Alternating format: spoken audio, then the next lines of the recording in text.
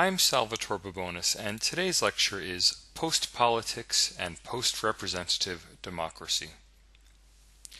Social movements like Occupy Wall Street, the Indignados of Spain and Greece, and Nuit Debout in France and Belgium have brought many people out into the streets.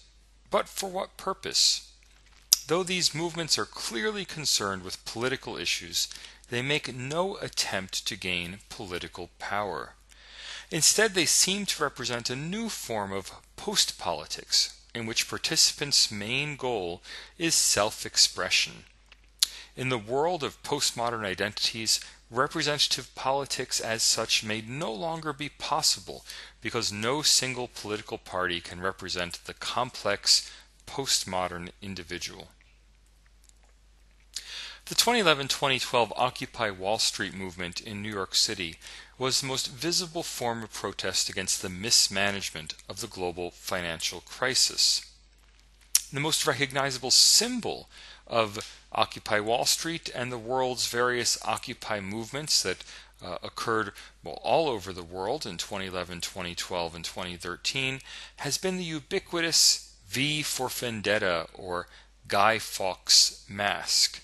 Now, this mask was originated in England as part of Guy Fawkes Day uh, celebrations. Guy Fawkes uh, famously attempted to blow up the English Parliament. It was an anarchist who attempted to blow up the English Parliament in the early 1600s.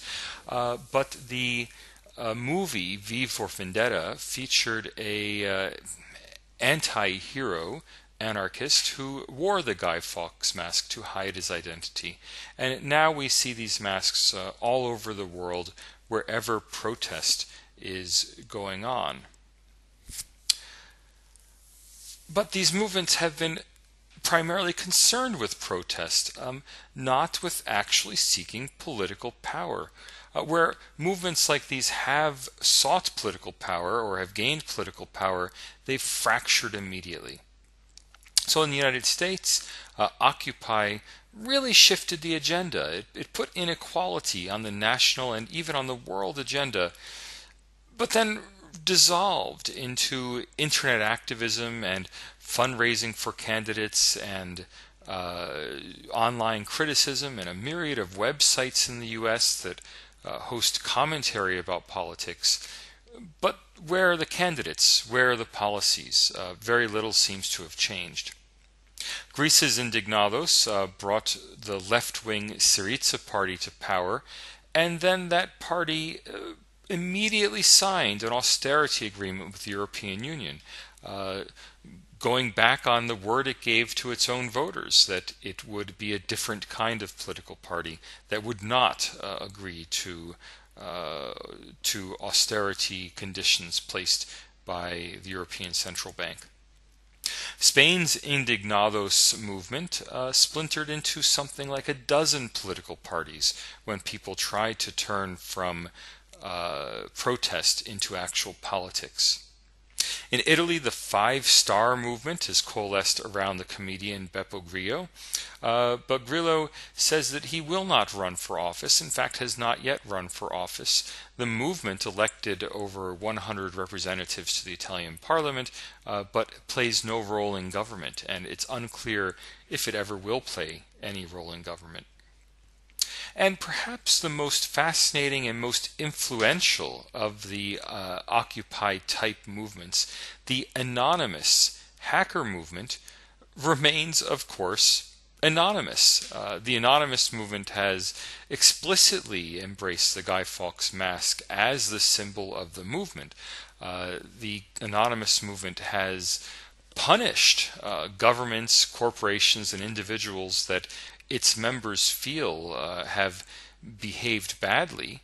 Uh, in many ways, Anonymous is a kind of global online vigilante police force uh, fighting for justice online. But it's hard to be an anonymous online movement and actually govern in any positive way. Uh, punishing people for corruption or lying or bad behavior is one thing, actually governing in a positive way is something completely more challenging. These kinds of post political movements often espouse direct democracy or deliberative democracy, uh, a kind as kinds of post-representative democracy. The idea is that the world needs to move from uh, representative democracy, which is irredeemably corrupt as politicians uh, try to raise money and uh, raise money for campaigns and merely merely represent the powerful interests who contribute to their campaigns. Uh, that we need to transition from that kind of democracy to a more direct democracy. The problem is that direct democracy, as it has existed in the past, uh, has uh, res- depended on representative institutions to create the very referendums that get voted on uh, in direct democracy. Now, Occupy and Anonymous and similar movements have moved beyond referendums to propose a new form of deliberative democracy in which people directly engage in discussions to debate the future direction of society. The problem is that these forms of discussions only seem to work well for very narrowly circumscribed, very local issues. Uh, for example, when a city government uh, says that it will allocate $10,000 to improve a particular park, uh, residents who live in the neighborhood of that park might be motivated to come together to discuss how to best spend the money. Uh, but this doesn't seem to translate into a larger scale. Uh, it also is, in many ways, very unrepresentative in that only the people who turn out to deliberate uh, end up having a say. We also have a very large body of so- social psychological research that shows that in open deliberations, those people who are more educated and more outspoken and who have stronger views tend to push the discussion in their direction, so that as a result, uh, the outcome that arrives from deliberation, while it may seem like it was a group outcome that everyone had an equal say in, in fact represents the views of the kinds of highly motivated activists who wanted to have the discussion in the first place.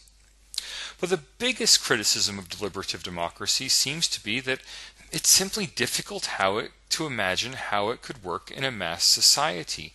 Uh, other than the, the very simplistic idea of putting proposals on a, an online platform like Facebook and having people give them thumbs up and thumbs down, um, it's hard to imagine how we could organize the kinds of complex laws uh, that go into hundreds of pages, uh, how these kind of laws could be deliberated and decided on uh, by people in an open forum having unlimited discussion uh, and uh, an unlimited opportunity to express their views. Instead of resulting in productive, positive politics, deliberative democracy instead seems to result largely in critique and self expression, it's an opportunity for people to have their say, not an opportunity to actually create new and better forms of government. If democracy itself, if representative democracy was a response to modernity, it may be killed off by the emergence of the postmodern self.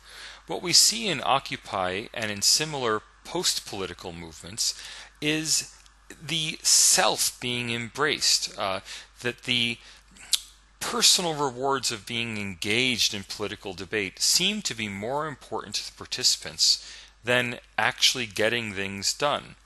Uh, thus, we see a transition from the modern self uh, that is composed of you know people who can be represented by particular parties taking particular viewpoints to a very complex postmodern self in which people have multiple identities, multiple points of view that can only be expressed in the full complexity of conversation, but can't be represented by a single up or down vote on any issue. If you find yourself thinking about a political issue and saying to yourself, on the one hand, I see one side of the issue, but on the other hand, I see the other side of the issue, you're taking a postmodern view of the issue. And while that approach may be logical, correct, valid, and um, meaningful, uh, that way of thinking does not result in clear decisions to take one position or the other position. Uh, the transfer, the transition from the modern self to the postmodern self may have made us all uh, much more. Uh, it may have made for a much more rewarding experience for all of us, but it has made people much less governable. Key takeaways Occupy Wall Street was the exemplar of a series of postmodern, post political, critical social movements. Second, Occupy type movements espouse forms of deliberative democracy that are in many ways post political, not concerned with the uh, acquisition of actual political power. Finally, the postmodern self may simply be unrepresentable uh, resulting in a transition to post representative democracy, which is something that, frankly, we don't yet know what it will look like. Thank you for listening. You can find out more about me at salvatorebabones.com, where you can also sign up for my monthly newsletter on global affairs.